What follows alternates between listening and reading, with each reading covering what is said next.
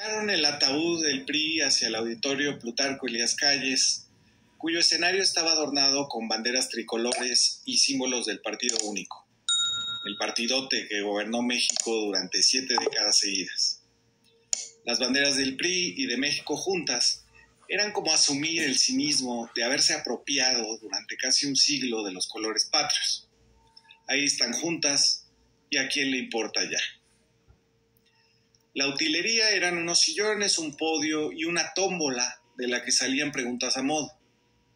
Era la pasarela de los posibles candidatos a la presidencia de la República por el PRI para 2024, que duró dos días, 17 y 18 pasados, y cuyos aspirantes fueron una expresidenta del PRI, Beatriz Paredes, la misma que promovió la criminalización de las mujeres que abortaran durante su vigencia junto con Murillo Karam en 2007, la hija del asesinado presidente del PRI en 1994, Claudia Ruiz Massieu, el hijo del expresidente Miguel de la Madrid, Enrique, el hijo del exgobernador de Oaxaca, Alejandro Murat, el recién electo gobernador de Durango, Esteban Villegas, el actual gobernador de Coahuila, Miguel Riquelme, el secretario de Economía de Peña Nieto, Ildefonso Guajardo, el secretario de Hacienda de Cedillo, José Ángel Gurría. Esta mezcla entre los juniors de la élite gobernante, gobernadores en funciones y economistas del pasado neoliberal, fue la encargada de pasar el féretro del PRI para colocarse al filo de su tumba. No pude dejar de notar a las dos conductoras del espectáculo. Viviana Belsazo, hija de Guido Belsazo, un funcionario de la Secretaría de Salud de Vicente Fox, que fue inhabilitado durante 40 años por vender permisos de medicinas, y esposa del conductor de TV Azteca, Jorge Fernández Meléndez. Y Mónica Garza, también de TV Azteca, hija del Meme Garza, dos veces diputado por Tamaulipas. El enterrador fue Alejandro Moreno Alito, quien habló de sí mismo, para variar, y trató de explicarse en público. Dijo, unidos con la frente en alto, izando el estandarte aliancista que pondrá fin al peor gobierno de todos los tiempos. Nunca pensamos atestiguar semejante destrucción de las instituciones y de todo. Pusimos un alto a la reforma eléctrica, votamos en contra de la militarización del país, le dimos certeza al marco jurídico. De la misma forma seguiremos expresando nuestro rechazo a la, forma, a la reforma electoral que atente contra el INE. No a ninguna reforma que dañe a la democracia a nuestro país. PAN, PRD y MC serán bienvenidos en una alianza. Nosotros construimos este país. México está aún por conocer al mejor PRI de todos los tiempos. El PRI está preparado para regresar y gobernar en coalición. Así Alito disfrazó sus vaivenes con el disfraz de una congruencia que va de romper la alianza con el PAN a proponer ahora una coalición de gobierno con todos adelantó lo que sería una constante en los discursos de los demás, la evocación de un PRI que supuestamente construyó el país, sobre todo porque no permitió que nadie más lo hiciera, y al mismo tiempo la coincidencia posible con Acción Nacional, el dogma neoliberal, monetarista y echeleganista. Las primeras exequias provinieron de Beatriz Paredes, que declaró de entrada, soy aliancista. Luego pasó a hacer un reclamo que durante siete décadas se le hizo a su propio partido y dijo, no permitiremos un triunfo electoral ficticio, queremos que el gobierno no meta las manos en los procesos electorales. Lo entendió tarde, pero algo es algo. Apoyada en un bastón, Paredes sorprendió por su audacia.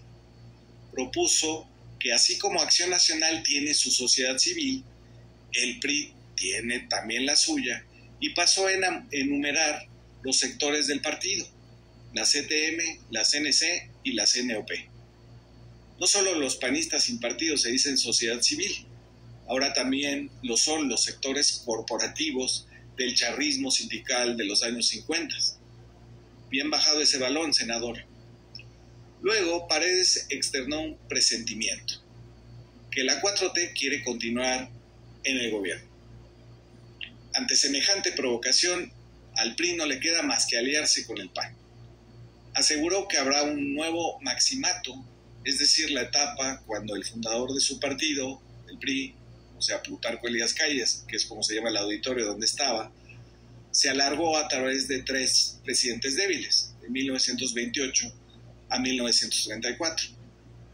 Ya la crítica más dura que le puede hacer el PRI al obradorismo es que hará lo mismo que ellos hicieron. Sin miedo al acertijo, Paredes dijo algo incomprensible. Dijo, no queremos que la sociedad sea la caricatura de la reina del sur. Si pensamos que la reina del sur es una novela, luego hecha telenovela, no sabemos cómo se vería en formato de caricatura. Luego simplemente exclamó, bienvenidos los aspiracionistas, como si se tratara de uno más de los sectores del PRI o de la sociedad civil de los panistas. Pero al final, entusiasmada por su propia exposición, creo que Beatriz Paredes dio en el clavo cuando dijo, lo que pasa es que entendí al revés el reloj y pensé que todavía me sobraba tiempo. Describió el PRI de los últimos días, creyendo que el reloj va al revés, no han entendido que se han quedado fuera del tiempo. Guajardo, el exsecretario de Hacienda de Peña Nieto, mostró cierta fobia hacia los ancianos. Sostuvo que se le da más dinero a los adultos mayores que a los niños y que eso es no invertir en el futuro. Hubo un aplauso, pero no lo sobredimensionemos. El PRI siempre se ha aplaudido. Guajardo se hizo engrudo con sus propios argumentos. Primero aseguró que la educación era el único factor de movilidad social en México y luego, en una anécdota mediante la que quiso dejar en claro que él sí conoce gente pobre, aseguró que un egresado de la universidad no ganaba, dijo, ni 12 mil pesos al mes. ¿Es la educación el único factor de movilidad social o es un factor que te da 12 mil pesos al mes? Misterio. Luego abundó en verdades tan sólidas como esta. Nuestra oferta no puede ser el pasado porque el pasado es lo que nos trajo a donde hoy estamos. Nada que comentar.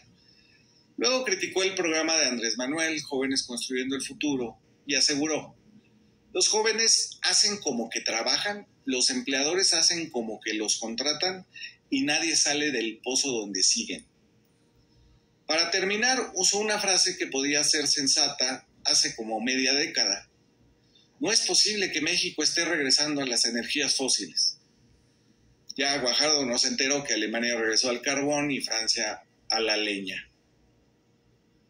José Ángel Gurría no aportó más que su perspectiva íntima tras 15 años de estar en la Organización para la Cooperación y el Desarrollo Económicos, la OCDE, cuando se desestimó a sí mismo dijo, fue una gran travesura dirigir a los países más ricos viniendo de México. Y se rió solo haciéndose chiquito. Enrique de la Madrid nos recordó dos cosas, una inolvidable y otra desconocida. La primera es que es hijo del presidente de la Madrid, el introductor del neoliberalismo a tierras mexicanas y la otra que fue candidato para la delegación Álvaro Obregón en la Ciudad de México en 2003.